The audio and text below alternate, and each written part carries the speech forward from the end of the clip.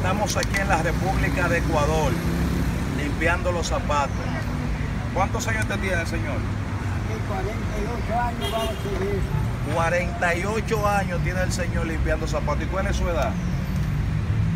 Son 85 años. 85 años tiene el señor. Y es lamentable ver que hay muchos jóvenes con fuerza que deberían de estar trabajando. Sin embargo, están en la droga, en el alcohol, atacando, robando, matando. Sin embargo, este señor pudiera estar en su casa, pensionado. Sin embargo, mire cómo él está fajado, trabajando 48 años trabajando. La gente quizá diga, no, pero limpiando zapatos. El trabajo dignifica. El trabajo es una bendición. ¿Y cómo usted se siente, hermano? Bien, gracias.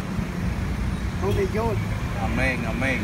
Dios es más adelante para nosotros. ¿A qué hora usted se levanta a trabajar? Yo levanto a las 6 de la mañana y yo vengo acá. ¿A qué hora? A las 6 de la mañana. A las 6 de la mañana ese hombre está en pie de guerra limpiando zapatos. Así que, ¿a cómo son la limpieza de zapatos? A ver, vos no pagan, hermano, para que vienen con agüita 30 horas para un Un dólar. ¿Cuánto cuesta eso? Un dólar. Sí. Porque eso cuesta un dólar.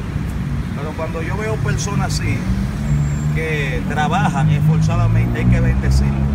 Yo también fui limpiabota. Yo también estuve en la calle. Vamos a bendecir a, a este señor. Entonces usted cobra un dólar. Vamos a bendecir. Y ahí hay 10. Yo tengo soltito, No, no son todos suyos. Dios me le bendiga. Le más Amén. Amén.